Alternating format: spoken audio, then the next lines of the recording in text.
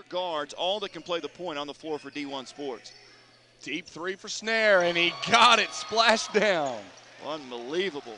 What a good role player for them that does all the intangibles that help out. Big piece to the puzzle. There's Snaer right past Wall to the rack. Yes, sir. 36 deficit for Michigan. Oh, what a finish! Are you kidding me? Probably not. Snaer is all business here in this basketball game, giving him 15 in the first half.